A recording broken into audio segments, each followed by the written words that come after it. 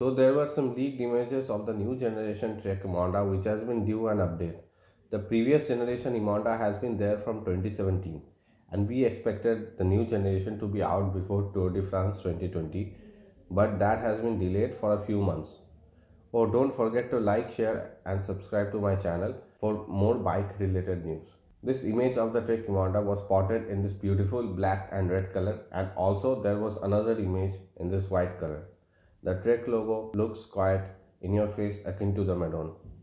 This particular bike was shot with SRAM ETAP AXS group set and is evident from the disc brake rotors and unlike the current Emonda has neatly integrated cables up to date with current trends. It is clear that the seat tube doesn't have an isospeed decoupler like the Madone but we think there is an isospeed decoupler at the top of the head tube. The junction at the top of the head tube looks a bit untidy with that narrow steerer tube jutting out. This should sort it out by slamming the stem.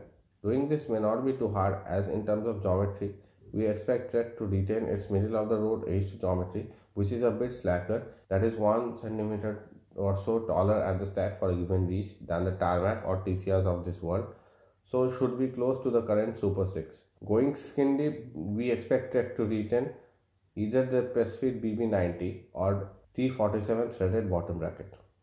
The current Emonda was trailing the field in terms of stiffness and aerodynamics and Trek, at least in terms of the latter, has made the due changes and introduced the truncated aerofoil tube shapes in its down tube and seat tube. Now we don't have drop seat stays which is an interesting design choice. While the current gen Emonda was one of the lightest bikes out there, we expect the nod to aerodynamics and stiffness and also the ISO speed decoupler at the front will add some weight to the frame set but that should not in any way make the bike slower unless you are doing alpine climbs all day. Will there be any rim option? Well, we don't think so. Going to Trek's website, they only show disc versions of the Emonda SLR for 2020, so this may be a sign of things to come. The launch of the TCR and the upcoming launch of the Tarmac will make things in the climbing bike world very interesting indeed.